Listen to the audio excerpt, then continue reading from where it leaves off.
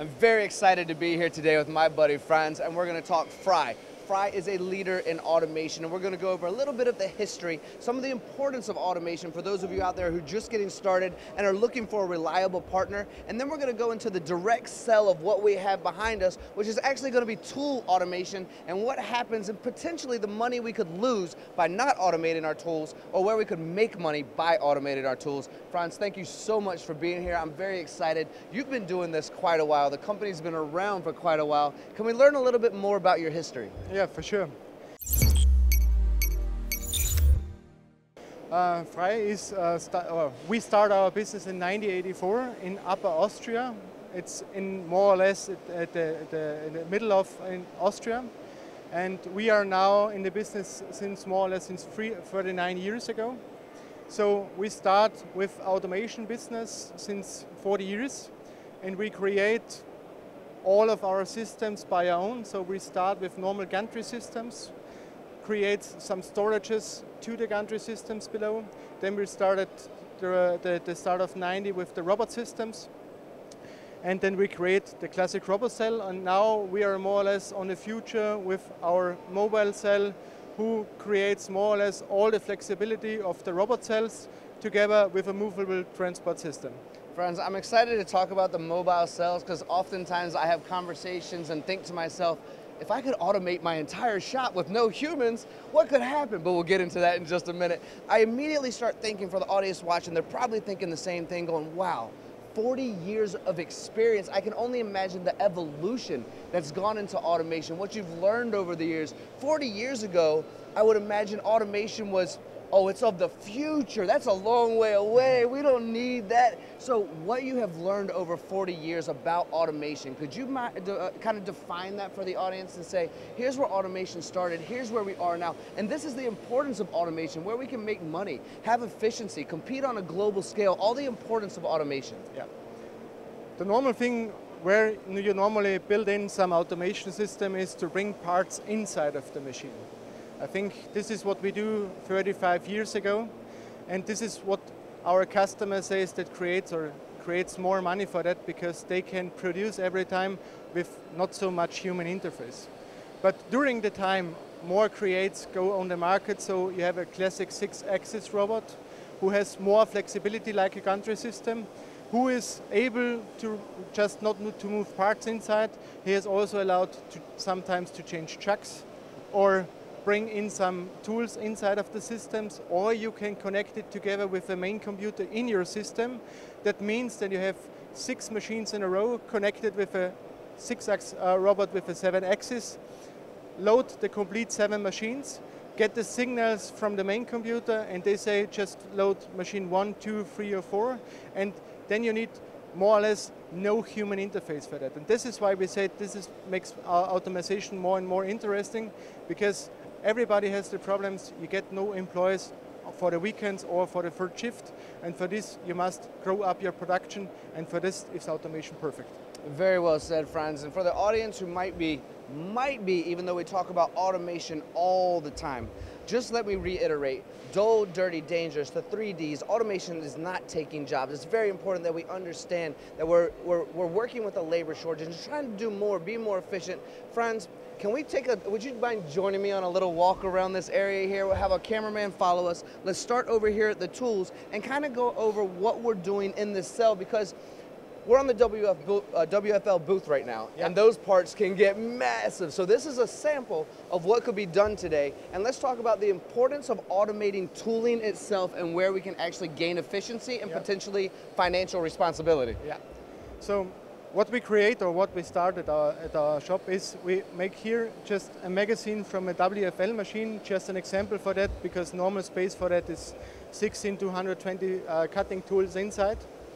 And what is the problem? So when you start your cutting process, you have all the cutting tools inside and over the third shift or over the night shift, you need much more than three or four cutting tools there from one specific part. So we have there materials inside for the cutting that you need all 10 minutes to change the tool and for that it's really hard to find an employee that change every time the system there.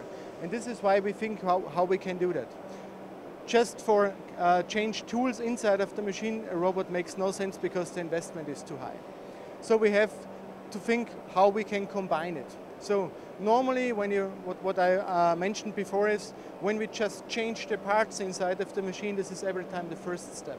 When we create then for changing the parts, also changing the tools with the robot system, then we can create a complete mobile cell or a complete automation cell. And this is the important thing what we get. Because this costs a lot of money when you need some human interface, when the machine is not producing, then you uh, cannot earn money, and this is the reason why we do that. All right, Franz, we're in the middle system here, which I think is a very important bit to discuss as it's integrating the far side and the north side here. What have we created in this system that FRAI has done to help our audience? So we create here now the mobile cell. It's a mobile platform, especially who can move from one side to another. And the, very, very, the most important thing about it when you make your factory planning, normally you buy some cutting machines over the years, but they will not be at the same line or on different places. And for this, it's really this the, the, the most impressive solution because you can move everywhere in the in the plant. So you start just to make up the card system with, with, the, with the system creates your points and then you can move it just from a workpiece together to the cutting machines. You need just more or less an interface to the machine, the gripping system on the robot, just the storage wherever you want, and then you can create really, really more automation and complete your factory.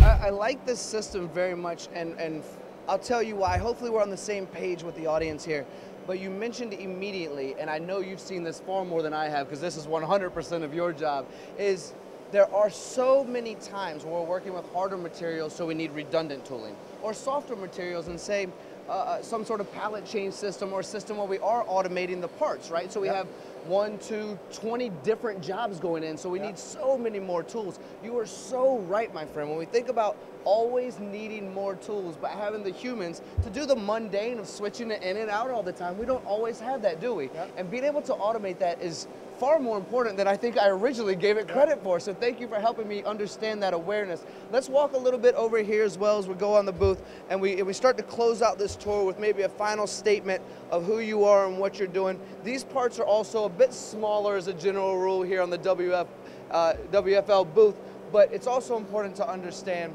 the, the part integration, the tool integration, and maybe some of the components of how this actually works. Because I see grippers, I see pieces that are, are very important because you guys do the full integration. You make sure that when you visit a customer, you have all the right components, but you've been doing this for 40 years. You understand the growth and evolution, and you bring it all together in one home so that someone who implements FRAI will implement a situation they know works, right? First of all, is every time to understand what is really the customer needs, what you mentioned.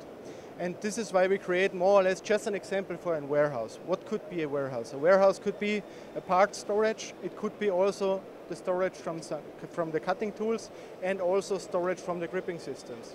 Because what is the most important things? Create a high flexibility cell that you need no more investment after that when we just implement a new part. This is the reason why we start for automation. And this is where all discussions starting. So what is the customer need? The customer said every time when we start with the with the with the with the um, with the interview, they will have 24/7 without interaction from human people. And we say, okay, automation normally makes that, but in special things you need a little bit help of the human interface because what is our intention about it? Bring the people you have in the in the company to to do more or less um, the, the interface together with more machines, not just with one. Give him a little bit more intensive work and he will also be happy because it's not the best way just to move heavy parts inside of the machine. That can be done by a robot. It's not the best part to move the parts out from the machine. This also can be done by a robot. You must can change tool. This can be done by the robot. And also change for the gripping systems. And when you have this interaction for the automation, then you can grow up your business. And then normally you get out more parts in uh, less time.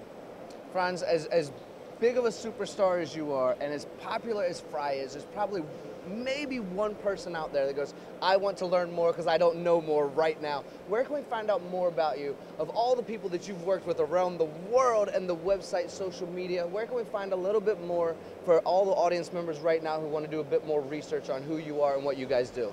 uh, so social media is created together with company WFL. So when you search us on LinkedIn or uh, kind of Facebook on Instagram, when you take a look at the WFL, we have also our platform there. So when you search for FRAI, also for the internet site, www.frai.at. So you can search all of our uh, communication and interface system, or you can write us direct at office at frai.at.